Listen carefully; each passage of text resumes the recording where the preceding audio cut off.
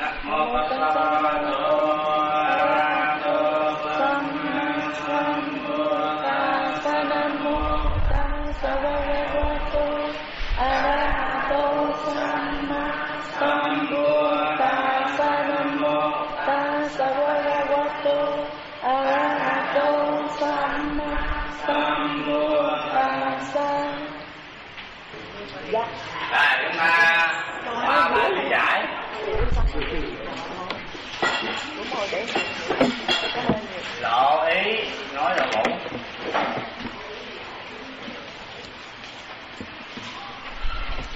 tuần trước là chúng ta học về cái à, lộ ý nói ngủ rồi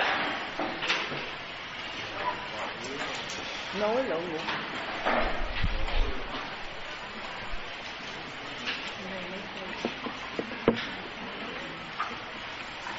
trong cái lộ à, ý nói được ngủ chúng ta phải ghi nhớ hai cái bốn cái lộ căn bản. Tức là nếu mà lộ ý nói là ngủ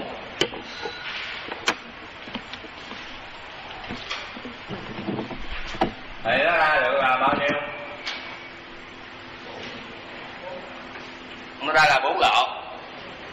Đúng không? Nó khác chi tiết chút xíu. Rồi lộ nhất là gì? Lộ nói tiếp.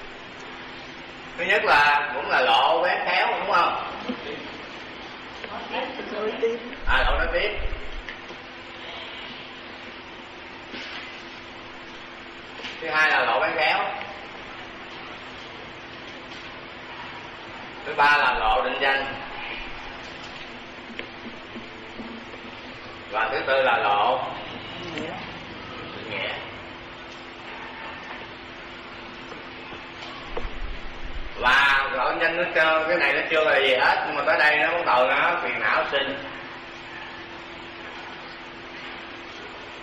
Và nếu không ép chặn cho đó thì nó tăng trưởng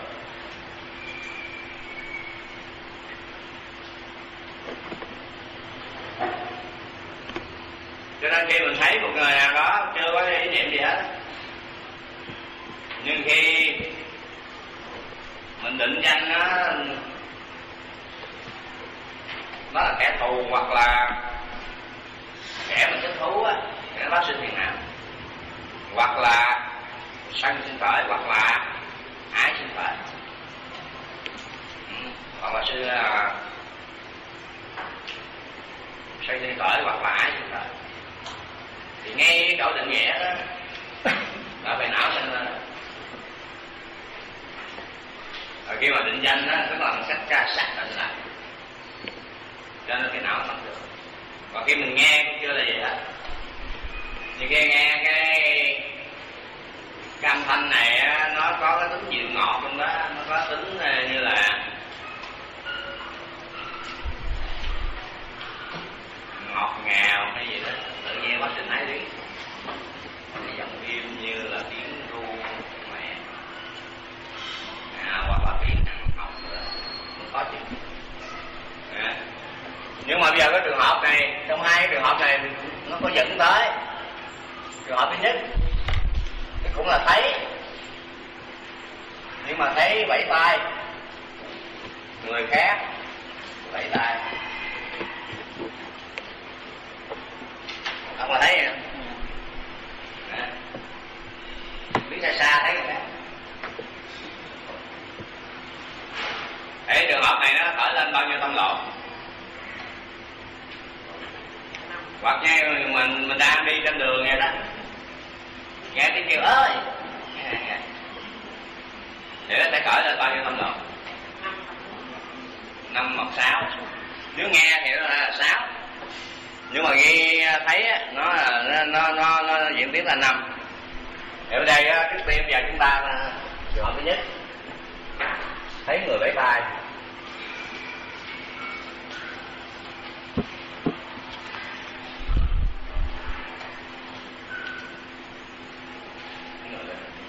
thì nó có năm tâm lộn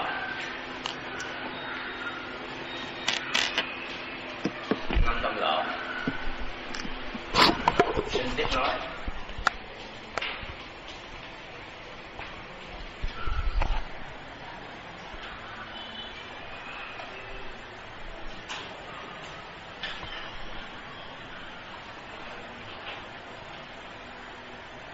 Thì trước tiên cũng là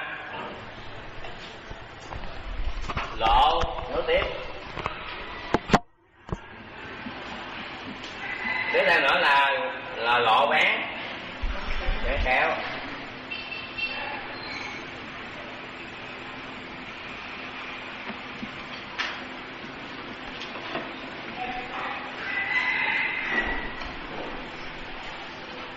thì khi mà tới cái lộ bán khéo này rồi đó thì nó tiếp theo nữa nó sẽ là lộ định nghĩa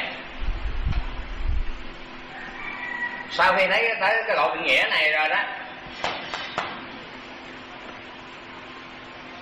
thì đúng ra nó phải tiếp theo cái lộ định danh nhưng ở đây chỉ thấy thôi mà chính ý nghĩa này đó thấy người ta bảy bảy hay là mất mắt nha ví dụ như trường hợp đó một cái người mà đi trên chuyến tàu chẳng hạn vậy và người đó quan sát bằng cái ống dòm hoặc là ống ống kính nhìn xa đó thì thấy bập bềnh bập bềnh ở trên nước đó, có cái người giơ tay vậy có một người bị chết chìm đó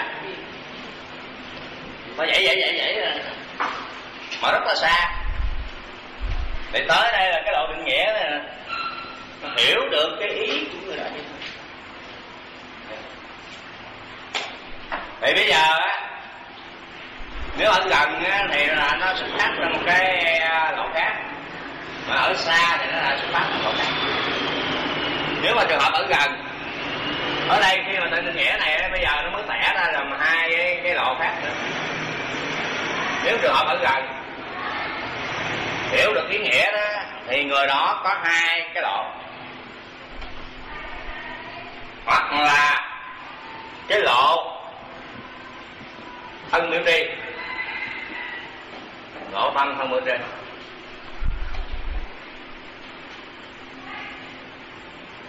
ví dụ như chúng ta thấy rằng ở gần gần có ai đó người bạn mình nó mất mắt nhưng mà mình vì lý do gì đó hiểu được cái lắp mắt nào yeah. không hiểu à ví dụ ở xa ở mình ở, ở gần cái là cách là xa nó phải là không xa lắm yeah. mà thấy người ta đang dãy dãy vậy nè. Hiểu được cái nghĩa ý nghĩa nào hiểu. Đó là kêu tới đó. Mình hiểu được kêu tới đó nhưng mà mình vì một cái lý do nào đó. Mình không tới mình về. Hiểu cái bắt này không? Tức là dùng ân trả lời cho thật thì cái lỗ tâm này được gọi là thân điều trị. Không cần phải nói nữa bởi sao vì hiểu nghĩa là người ta gọi mình đó hiểu không? Nhưng mà mình không muốn đến rồi còn nếu mình chấp nhận đến này nếu mà chấp nhận đến thì mình sẽ gặp. Lỗ chẳng hạn như vậy thì cái lỗ này được gọi là lỗ phân biểu. Trường hợp thứ hai. Trường hợp thứ hai. Nếu mình không có dùng thân biểu tri thì mình sẽ trả lời rằng là đang bận chẳng hạn vậy đi thì cái lộ này nó thuộc về lộ ngữ biểu trì.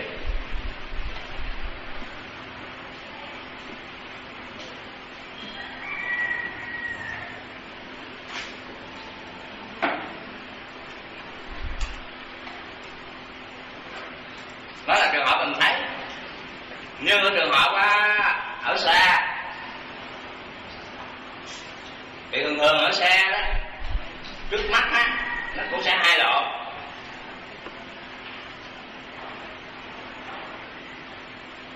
nó là trường hợp ở gần nó cũng sẽ sẽ xảy ra hai độ như vậy. Nếu trường hợp ở xa thì sao?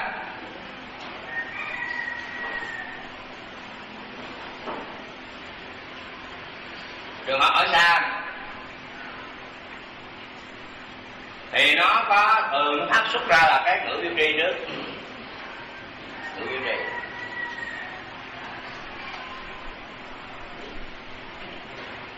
nó có thể là thân biểu trì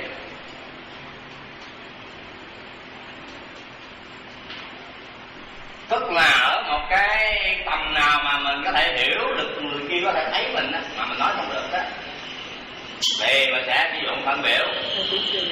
Nhưng cái trường hợp mà những cái người trên cái tàu diễn dương mà thấy một cái người mà bị đuối đó, họ không thể dùng thân biểu tri được mà bắt buộc họ phải dùng ngữ biểu ngữ này à, có người chết kìa có người trên núi kìa để mà truy hô lên tức là lúc đó sẽ có những cái phương tiện để cứu cái người kia. Cho nên đó, trường hợp mà ở xa đó mà nhận ta thấy là cái người kia có thể hiểu được những dấu hiệu của mình á thì người ta sẽ sử dụng là thân biểu được trì bởi vì nói nó không nghe xa quá nó không nghe. Ở trường hợp thứ hai đó sẽ phải nói nhưng mà nói không phải nói với người kia nhưng mà nói với một đối tượng khác để tìm cách cứu. À. À, ví dụ giống như mình thấy cái ngọn lửa xa xa cháy kìa cháy kìa. Chứ không thể vậy hay mất được. Vẫn là thấy xa xa con đống lửa cháy lên Đấy thì trường hợp này mình không phải nói với cái đám lửa. Mà, mà sẽ nói để những cái người khác nghe để mà chập tắt cái đám lửa. Đó hai trường hợp như vậy. Cần phân tích rõ. Nắm được chỗ này không? Nắm được. Quen hay không quen là nó cũng rồi đó dạ. ví dụ như mình thấy người xa xa quá quá mà mình nghĩ là nó có quen hay không quen là cũng có định danh hay định ta định nghĩa đấy nó gọi định nghĩa. Cái định nghĩa cái bảy này là cái gì? Quen không quen cái người bảy thì sao xa quá thấy rồi biết quen nếu quen thì phải nói rồi. Nếu nhìn nhận nhận định rõ thì phải nói rồi. Ví dụ bây giờ cái xa đó, có một chữ nào mà quen nó rồi. Mắt là định cái hay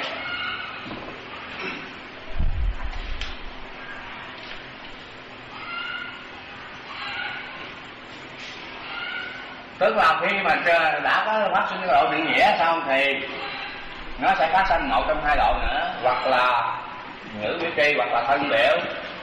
Biểu tri hoặc đôi khi á, là ngữ nó có ra đi trước rồi thân nó đi sau hoặc là thân nó đi trước rồi ngữ nó đi. Nào cũng nói tiếp nhau là nó không có cái cái việc là cố định. Bây giờ trường hợp thứ hai. Là lộ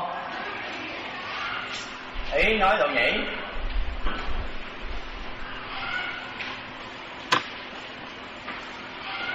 phần này nó có tới sáu lộ mới tiếp.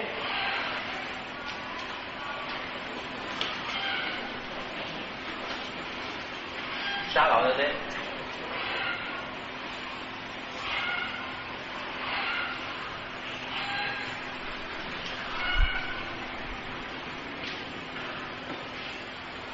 Thì chúng ta cũng sẽ có cho tuần tự của nó. Là lộ mới tiếp. Rồi tới lộ. Với khéo. Tiếp theo là lộ định. Định gì? Định danh nghĩa. Xin lỗi định danh. nghe phải định danh trước. Thấy mới nghĩa được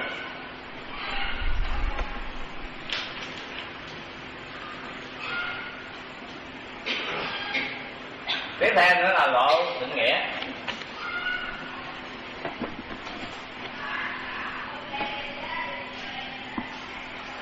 Thì tiếp theo cái lộ định nghĩa này, tức là nó sẽ diễn tiến bốn cái lộ căn bản trước.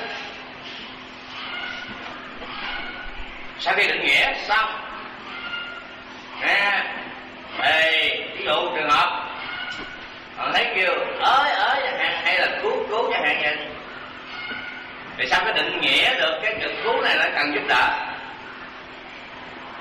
Thì hoặc là nó phát sinh cái độ thân là mình giúp đỡ mình thấy là ví dụ cái người vừa té xuống à, học kia cứu quay lại thấy vừa vừa thấy xong.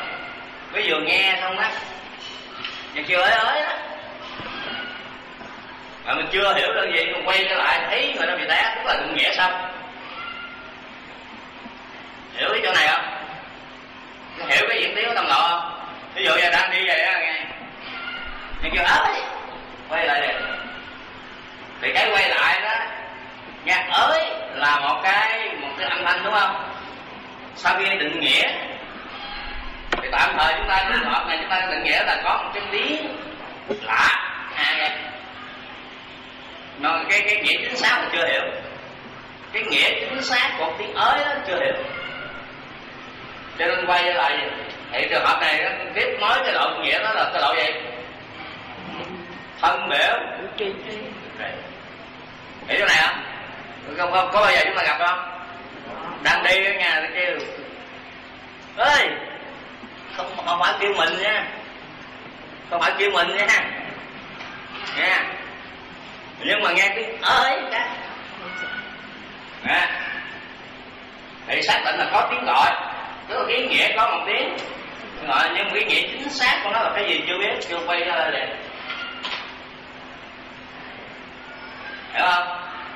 Thì cái trường hợp này là cái lộ định. Cái quanh cái lộ này là nó tiếp là lộ. Lộ gì?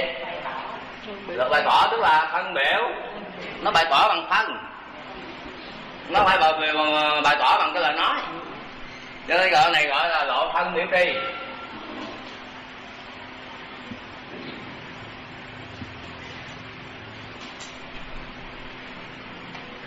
Thân biểu tri này nhằm mục đích gì? Cái lộ thân biểu tri này nhằm tức là xác định cái nghĩa mình vừa thấy. Nó là cái nghĩa gì? Cái lộ này nhằm mục đích của nó để xác định cái ý nghĩa mà cái tâm nó vừa nhận được. Có thể ý nghĩa nó sai, có thể ý nghĩa đó là đúng. Cho nên cái nghe cái ới cái, bây giờ không nghe kêu cái ới nữa không nghe kêu ới đang đi nghe cái bật phía sau nghe cái tiếng gì nó rụng rớt xuống á. Không? thì khi đó nó vẫn vẫn vẫn diễn tiến bốn cái tâm lộ này. Và tới khi nó cái lộ cái định nghĩa. Tức là cái âm thanh tức là nghe được cái định danh nó là cái âm. Âm thanh.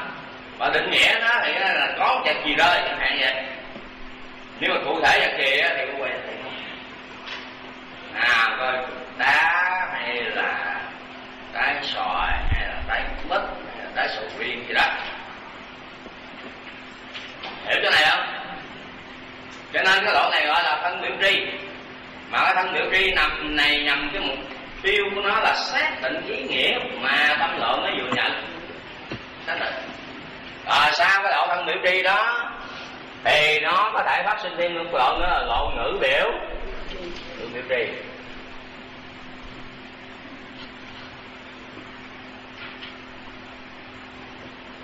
cho nên mình thấy một cách tổng quát, mình nghe một cách tổng quát. Thì cái tâm độ diễn tiếng khác, mà mình nghe thấy một cái tiếng quậy.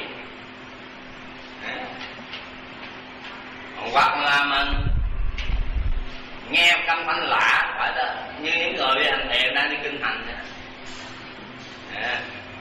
ta đi chậm chậm chậm chậm, tiến tới đủ tiền cái hàng đi chậm chậm chậm chậm chậm chậm, nghe bật cái chắc chắn rồi những cái phản ứng tự nhiên của cái tâm lộ nó diễn tiến, nó đều thành cái cái cái cái cái cái cái thân điều trị nếu có ai đã từng đi kinh hành rồi thì biết đó mà cái người mà có cái tâm nhạy đó tức là thiền tịnh mà nó hơi cá cá họ đi họ chăm chú vào cái đề mục đó, một tiếng lá rớt xuống học của mình. Nhiều âm thanh lớn nè. Và khi nghe cái âm thanh nó họ lập tức quay lại được. Nó như một cái phản ứng tự nhiên này. nó không cần chờ đợi lúc đó chúng ta không có kiểm soát được đâu. Chỉ trừ trường hợp chỉ trừ trường hợp những cái ngoại cảnh nó không xâm nhập ra được nếu như cái tâm người đó không thích vào cái nó tựa giống như một cái người mà chăm chú nghiên cứu về những cái phản ứng hóa học nó chăm chú ừ, có đôi khi mọi vật xung quanh thì xảy ra họ như trường hợp đó, có nói với ông uh, bác học đường lãng trí nó có ông bác học hình như là Newton hình như vậy. Ông lo ông say mê nghiên cứu công trình ông đó cái người cái người hầu ông đó, tới giờ ăn trưa đó. À, đem cái cái mâm vật thực đến cho nhưng mà thấy ông làm chăm chú quá nên mình để trên bàn đó là ông mới cái cái, gọi là đi. Ông quên đi, đi ra. Là Einstein ông cứ cứ tiếp tục sang lên nghiên cứu. Ở một người bạn vô thăm ông. Thấy ông cái ông này do cái say mê nghiên cứu rồi cũng không dám quấy rầy. Ở sẵn đang đói bụng có mâm cơm mấy ông ăn phần nữa hết chờ lại phần nữa. À. rồi cái ông có lặng lẽ ra thì tại ông này đang đam mê rồi suy nghĩ mà Nhìn là không đủ rồi cái khi ông vừa dứt cái xong ra ông mới mệt ông mới dứt cái này cái ông nhà ông tới giờ con nghĩ ông tới bụng tới giờ con cơm ông vô cái cái cái cái cái mầm vọng á.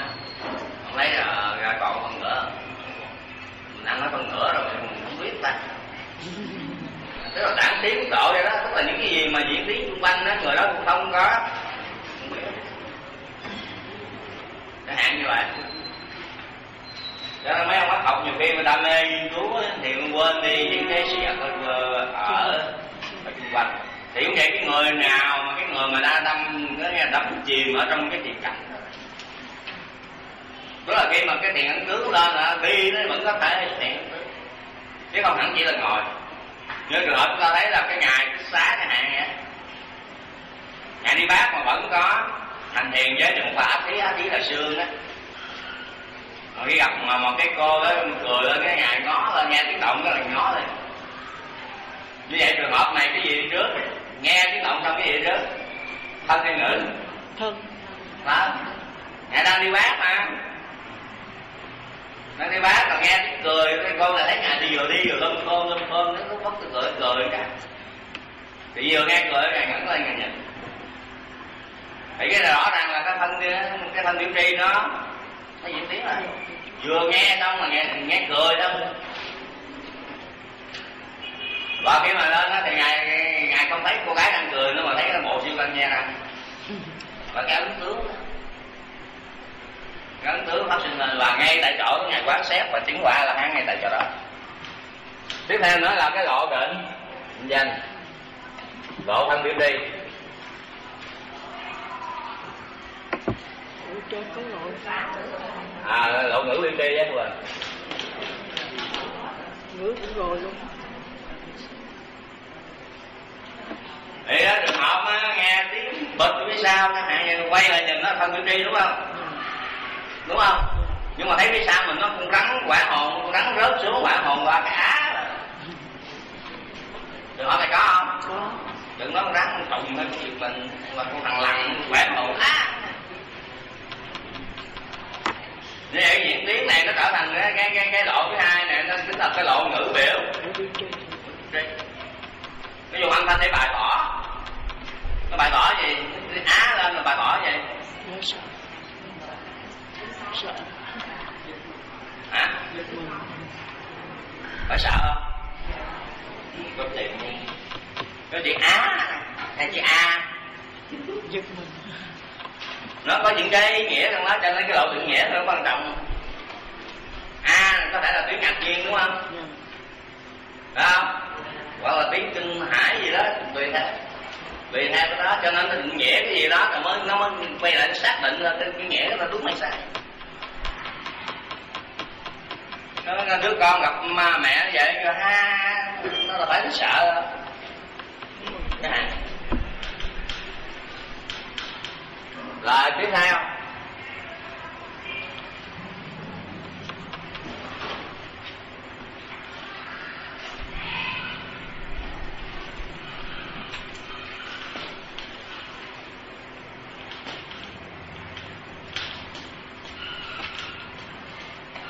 những tâm lộ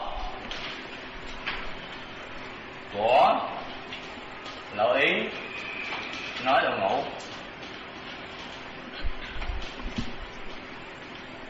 những cái những cái tâm lộ mà chúng ta tìm hiểu đó nó có bốn lộ ở căn bản á. Nhưng mà bốn lộ căn- căn bản ví dụ như à, lộ nối tiếp. Sau khi cái lộ ngủ hoặc lộ à, à, lộ nhãn hoặc lộ nhĩ? Nó đi qua hàng tâm lộ rồi đó. Thì tiếp theo cái lộ nối tiếp nếu bây giờ cái lộ nhãn hay lộ nhĩ nó, nó có thể là hàng trăm lộ mà nó cũng chỉ có thể là nó có thể diễn tiến tới hàng triệu lộ hoặc hàng trăm ngàn lộ cái lý do tại sao? Cái lý do tại sao? Nếu như cái trường hợp trường hợp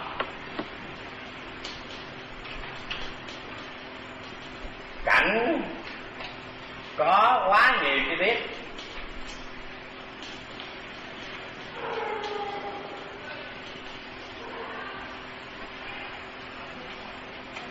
Cái trường hợp mà cảnh có quá nhiều chi tiết á, thì tâm lộ nó càng nhiều. Càng nhiều.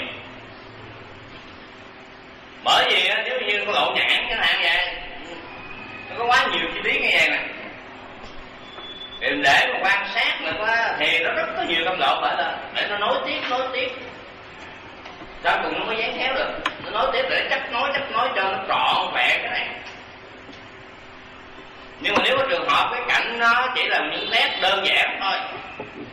Nè, ví dụ như một cái người ta vẽ vậy chẳng hạn vậy. Người vẽ gì tầm bậy.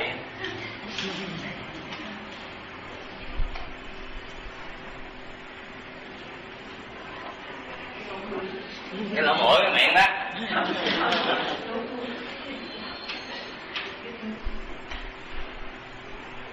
Đó. Rồi cái mặt cô gái đó.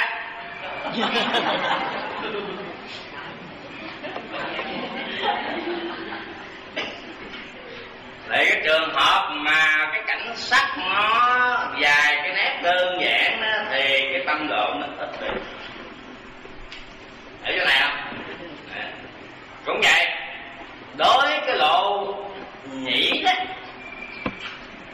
mà nếu như nhiều âm thanh âm thanh mà phức tạp đó, thì tâm độ sẽ diễn tiến rất là nhiều. Nhưng mà nó có những cái âm thanh mà sắc gọn, một, hai, từ đó, thì cái tâm độ diễn tiến rất ít đủ rồi. Nó đủ để gom được rồi. Nó là nói tiếp nói tiếp đến khi cái độ gì?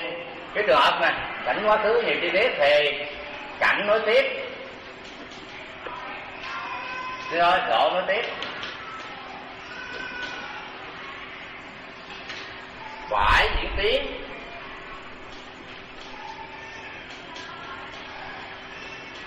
Đôi khi, cả trăm ngàn lọ. Để nó mới nói tiếp nói tiếp nói tiếp hết.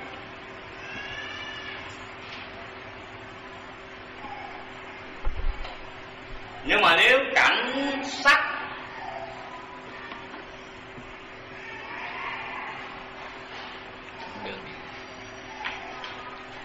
sau đó mới đến lỗi ăn khéo.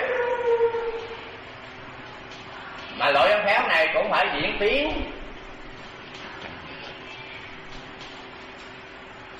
Rất là nhiều.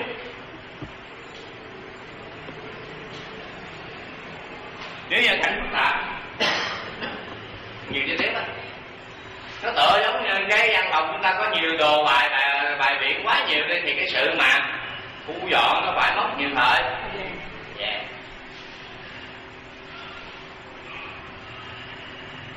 Còn cái lại nếu như trường hợp mà cảnh có những nét đơn giản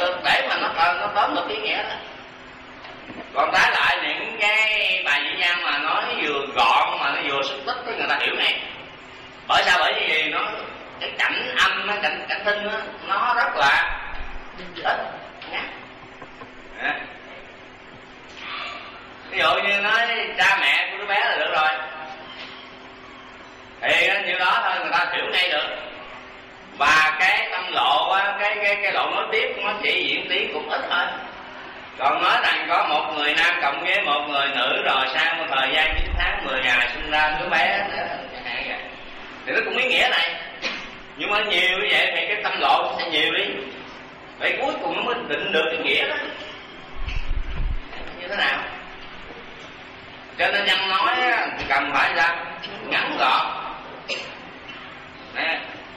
nhưng mà trường hỏi cái bậc này ra, ngài thuyết giảng chúng ta đó thì sao ngài thuyết giảng đó để xoáy vô cái nghĩa đó ngài rất là rõ. bây giờ hiện nay chúng ta học những bài trung bộ, trường bộ, thấy làm dài dài thật sự ra, ngài nói rất là gọn nói làm sao cho người ta hiểu tức là cái bối cảnh nó cái đối tượng đó, đó nó đang nằm ở trong cái trường hợp đó. Và ra ngài nói à, như đó thôi rồi nhưng mà về không nắm cái cái, cái đối tượng đó mà ngài đức phật ngài đang thuyết giảng là ai?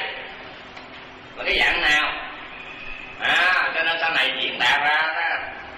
Nó nó nó nó đâm ra lợp cái giáo pháp của phật chỗ này ví dụ như lúc mà ngài đang nói chuyện với đang giảng thuyết cho một kênh người nông dân chẳng hạn đi. Nông dân hoặc là người đang bò đi.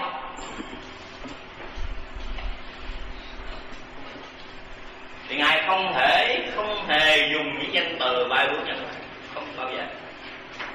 Nói người ta không hiểu cái, nếu mà dùng danh từ văn qua bài bướm thì cái nhóm này nó hiểu đó.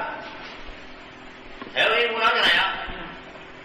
Ừ ngài phải dùng danh từ nó rất là bình dân và gọn. Ở cho nên đôi khi những cái từ xúc tích của đức phật này mà đấy thì khi mà những cái đoạn kinh mà xúc tích nha, những câu kệ ngon mà xúc tích như vậy thì chúng ta phải phải, phải tưởng ra tưởng tượng ra dùng ra họ tưởng tượng ra cái hội chúng cái cái đối tượng mà chúng ta biết là cái gì là cái hạng người nào vẫn đôi khi chúng ta thấy là cái kinh điển Bali đó nó có những cái từ ví dụ như là đô xá chẳng hạn vậy hoặc là da ba đá chẳng hạn vậy nó cũng là giống giống sanh ra là thôi hoặc là đô má nó sát chẳng hạn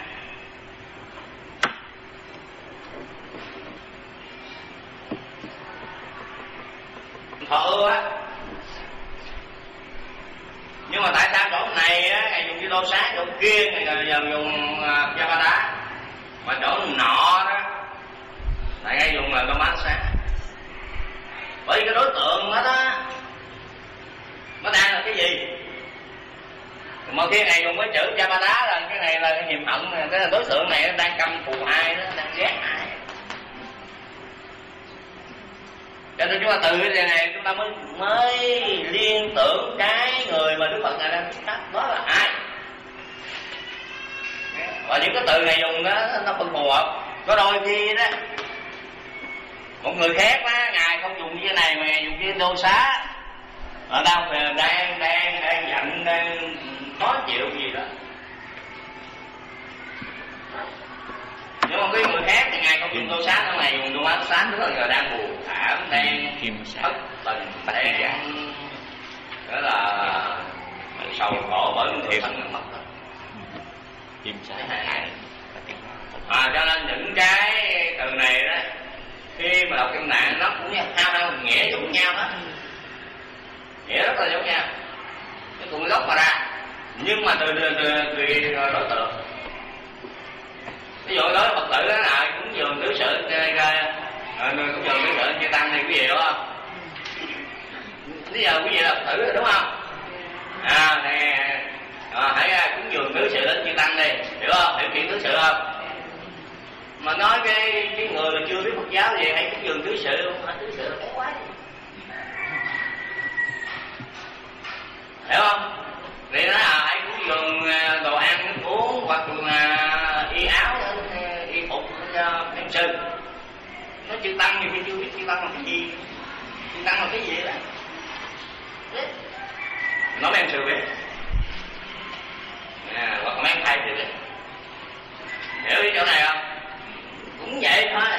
Cho nên đó, khi mà nghe thấy những cái từ của đức phật đó có những từ rất là đơn giản rất là gọn. Thì cần phải coi lại từ đó để mình nghĩ ra cái đối tượng đang nói là ai. Mà đang thuyết là ai? Chứ nếu ở bà la môn mà bà con sát lý lệ dân cái học vấn mà nói vậy là không phục những cái dân bà la môn á mà dân trí thức bà la môn hoặc là dân mà trí thức của sắc lý lệ á mà ngài nói dân nhân từ bình dân á thì người ta không phục ngài phải nói những nhân từ nào đó để cho người ta vừa nghe xong người ta khắc phục chỉ nghe cái âm thanh đã là tức là ông này á, là cũng phải là thất học ông cũng uh, có văn hóa cao chẳng hạn vậy cũng có đại khái học vị rồi. Nếu chúng ta gào phải phải phải, phải nắm bắt được. Nếu trường hợp mà cảnh ít nát á thì cảnh nói tiếp sẽ ít đi.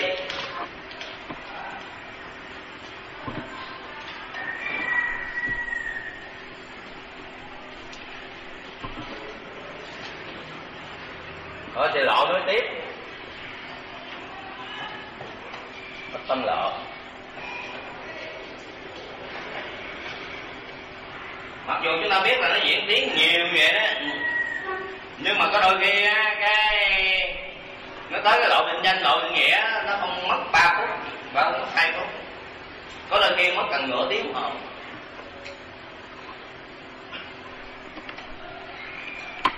bởi vì sau khi mà phải nghe để mà nó, nó nói tiếp nói tiếp nói tiếp cho tới trường không bị nghe xong rồi ngồi suy nghĩ mãi cái vấn đề đó. Hỏi, hỏi câu đó. Nhiều khi suy nghĩ cả nửa tiếng hồ. Đây là trường hợp của ai? Đây là trường hợp của ai sao là bất bất đại trí như vậy á. Mà hiểu rồi hỏi câu hỏi á, thế nào là hữu đó thì ngài miên man suy nghĩ, không biết không phải là ngài không biết, mà không hiểu rằng đức thầy tôn này đang nói với cái đề tài nào. Nói một cái vấn đề nào. Cái có đó. Đó. Mọi người biết rằng cái thành duyên khởi đó. Thì ái duyên cho thủ thủ duyên cho thủ á. Thủ là có có không thôi mà không chữ đó thôi. Mà câu hỏi đó thôi kiếm ngài sẽ là bất phải ngồi trầm ngâm mà khi mà đứng thế tác bất ngồi trầm ngâm suy nghĩ đó, thì cái lộ nối tiếp nó rất là nhiều. Nghĩ không ra, mặc dù nó gọn vậy đó, mà nghĩ không ra. Không phải là không ra, tức là không phải không hiểu. Nhưng nó rộng mức độ là không hiểu cái con ngày đang muốn nói về một cái khía cạnh nào. Mà khi nó nói ông này gợi ý thì ngài hiểu ngay và ngài trả lời cho nên trí tuệ đức phật là chỗ đó. Những câu hỏi mà người ta không hiểu, người ta không hỏi ở đây là cái trường hợp này á, là đức phật này muốn muốn thi triển này đối với ai? Chỉ nhiên không phải đối với chúng ta đâu. Mà cũng không phải là đối với những vị thánh a la hán thường đâu. Mà phải là sao là vậy để gì? Để cho sát phóng đi. Sợ. Cái khâm phục á nhiên a la hán không sợ rồi. Nhưng mà nổi tiếng là cái đệ nhất trí tuệ mà không hỏi mình không hiểu rồi trời gì có mới mới ớn cái hiểu chỗ này không? Mà cái câu hỏi này mãi cho ngài sắc phật mà cái người mà nhà sát không im lặng thì mấy ông kia nó trời ông thì giỏi sùng ngọt hơn mình, bây giờ ông im lặng, mình cũng không cũng biết rồi hiểu cái này không? Cái câu hỏi này nó bằng này không hỏi ai hết, ngoài ngày sao nó nên chúng ta phải hiểu được những cái ý như vậy cứ ngài ngài sao không thể không, không hiểu vấn đề này. Sau khi hiểu rồi ngài mới tuyên bố cái gì thì mình này các tỳ cô. Khi được à, tức cái tôn ngài gợi ý ta đã hiểu được vấn đề. Đó. thì nếu cái tôn hỏi bảy ngày bảy đêm về vấn đề này ta sẽ trả lời đúng bảy ngày. Ghê vậy hả? Nhưng mà giờ đoạn đầu không biết là muốn chốt đầu thì biết cho nên nguyên tắc cái gì phải biết mấu chốt nằm ở chỗ này cái bài pháp nó cái câu pháp nó cái mấu chốt nằm ở chỗ nào. Sau khi nắm được cái mấu chốt đó rồi ừ, đó từ đó mới triển khai đi. Hiểu chỗ này không? Còn nếu không nắm được mấu chốt chạy vòng vòng vòng vòng vòng vòng không thôi. Nè. À, chúng ta tạm nắm bắt như vậy đi. Tức là cái cái độ à, cái này đó cái cái cái niệm tâm này á, ở trong cái đời thường chúng ta đi được không? Chúng ta có thể ngồi chúng ta đi hoài đó rồi chúng ta sẽ qua cái mặt.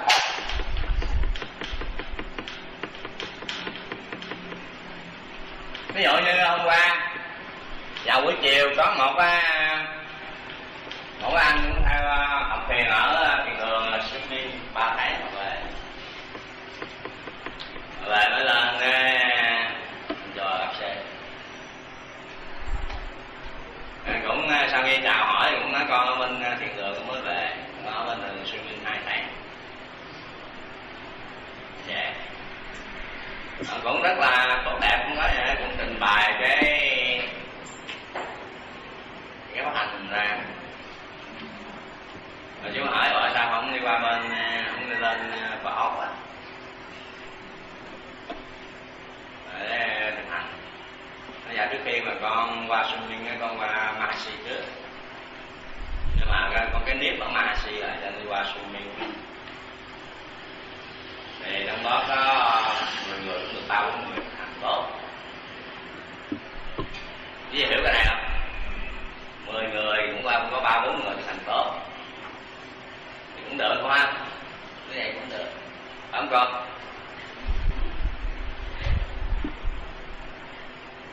Thì khi nói, nếu một cái thiền đường nó phải nó phải có cái tỷ lệ cao. Ví dụ vào một cái lớp mình nhảy á tài nhảy á là mình nhận được cái chủ đề cái cái cái cái, cái ý tránh của cái câu đó như thế nào. Cho nên mà dễ dàng dễ dàng mà, mà bạn miệng lắm. Nắm được cái chốt rồi quý vị bạn miệng rất là lẹ cái cái vấn đề á, là phải có cái tỷ lệ cao chứ tỷ lệ thấp thì nói chi. Ví dụ một cái trường à, mà sao à, thi đại học mà Ờ, đổ có có ba phần trăm dạ thôi, rồi đổ năm mươi phần trăm thế nào đổ hiểu cái này không? Thì là rồi sau đó mới nói con trình bày niệm tâm. Niệm tâm. Thì khi nào nói về cái, cách thức niệm tâm? Nên sau khi con nhìn cái cái tâm ờ, rồi mới thấy à tại sao mình như vậy như vậy như vậy? Thì nếu mà hỏi anh nhận được cái tâm đó là tâm gì? Không con chỉ biết. Cái cái cái cái cái trạng thái cái tác ý.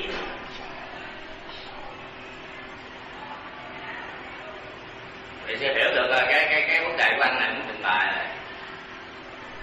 Chứ nói giờ anh ờ, đưa, sẽ đưa cho anh một cái thùng toàn là trong đó có nhiều cái con con tán anh nhìn là anh biết con tán phải không? Nhưng mà cái con tán này mấy ly mấy ly anh biết không? Nếu anh không biết con tán này mấy ly mấy ly thì anh sẽ làm sao lọc ra vô cổ máy.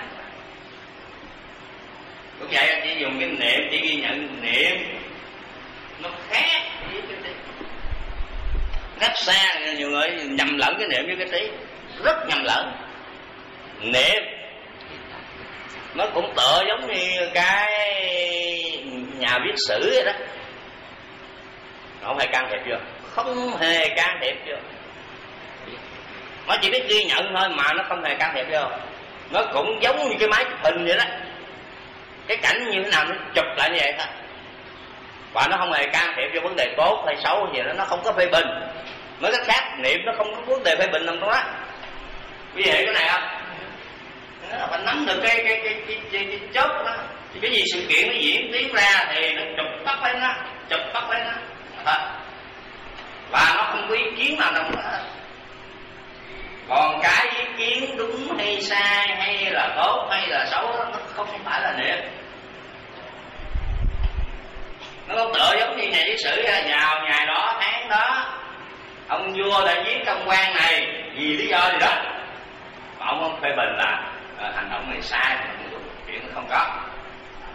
Nhà với sử không có quyền làm cái chuyện đó. Mà chỉ có nhà phê bình sử mới có thể làm cái hiểu chỗ này không nhà viết sử trung thực viết như thế nào nói như thế nào viết chỉ họ là như vậy như vậy như vậy. Thì niệm cũng vậy đó. Bây giờ nhận định á, cái tâm này tâm này tâm này tâm này nhận định cái tâm cái chung tổng quát vậy là chưa đi tới đâu chưa đi đâu. Bởi vì mình chỉ nhận định nó là cái tâm mà không thôi. Nó phải xác định nó cái tâm này là cái tâm nào tâm nào tâm nào. À, nếu là cái tâm tốt thì mình nhận lấy còn nếu mà tâm xấu thì mình sẽ không sao? Tâm xấu nhận không. Tâm xấu nhận không nhận để muốn sửa chữa. Nhận biết để muốn sửa. Cái tâm mà mình nhận đó, là cái tâm đó nó đã còn hay là chết? Chết. Cái mình biết cái tâm kia đó, thì cái tâm mà cái kia làm cảnh đó, bây giờ tâm a, đúng không? Đúng không? Nó bắt lấy cái tâm b. Tức là tâm a biết tâm b đúng không? Tức là mình nhìn niệm tâm mà nhìn tâm mà. Có phải không? Thì tâm a còn à, tâm b còn hay chết? Chết. Chết rồi những cái gì nó chỉ là cái biểu tượng của cái tâm b mà thôi chứ nó không phải là tâm b. Mà hôm qua sư có đưa một ví dụ cho cái anh này nắm nó giống như cái hơi nóng của cái ngọn lửa mình đã tắt. Ngọn lửa mình đã tắt rồi nhưng mà cái hơi nóng còn.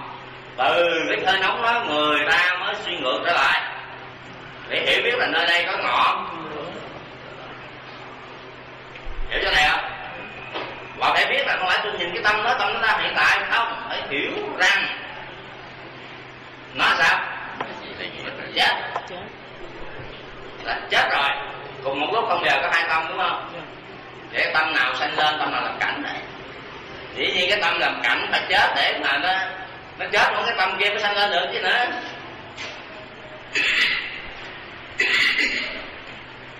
Có hiểu không? Và niệm nó chỉ ghi nó chỉ ghi nhận vậy mà thôi chứ nó không ghi kiến. Còn ý kiến là tâm tâm này là tâm thiện tâm bất thiện thì cái đó là cái gì? Cái đó là cái gì? Cái đó là cái biết rõ cái tâm này là thiện tâm này là bất thiện thì cái đó phải là trí không? Phải không? Nghe cụ thể là trí gì? Phải nhấn thêm một, một, một, một bước nữa dĩ nhiên nó đã nhận biết được cái này là à, thiện, cái này là bất thiện rồi nó là có trí đúng không? Nhưng mà trí đó trí gì? Hả? Không. Xa lắm. Nó chỉ là trí văn mà thôi. Tức là chỉ do nghe, tức là do học hỏi cái kinh điển mới biết đây là hiện đây đúng thiện. Không có trí văn đừng có nói chuyện nó trí tư, trí tu không? Không nhận định của nó mà còn nếu trí tu á, thì đó là cái gì? Nếu cái cái cái biểu tượng của cái trí tu đó là cái gì? Nên xin thưa cái trí tu mà thật sự cao cột đó cái biểu tượng nó là một trong tám đó mới thật sự là trí tư còn một chuyện suy sao xong rồi ngồi mình suy ngẫm, mình hiểu ra được vấn đề mình quan hỷ đó như hôm qua có con tử nghe nghe lại cũng băng cái quan hỷ nè nữa chẳng hạn thì cái trí đó trí gì? Trí gì? Từ. nó cùng trí cùng phải xác nhận xác định nó là cái loại trí gì. Nữa chứ phải tập thiện có trí không là đủ à. ví dụ cái này không? Thì cái chốt cái mấu chốt của vấn đề nằm ở chỗ đó để chúng ta nắm bắt được nó thì chúng ta bắt đầu mới triển khai đi được. Còn nếu không không triển khai. Cái lòng vòng lòng vòng lòng vòng biết rõ con tán này nó là mấy ly thì nó cần vô trong cái loại bù lon nào thì tra vô thế là hiểu chỗ này không? Dạ. Cái vấn đề đó là nằm từ do đó đó. Lý do đó chưa? Rồi, nghĩ đi.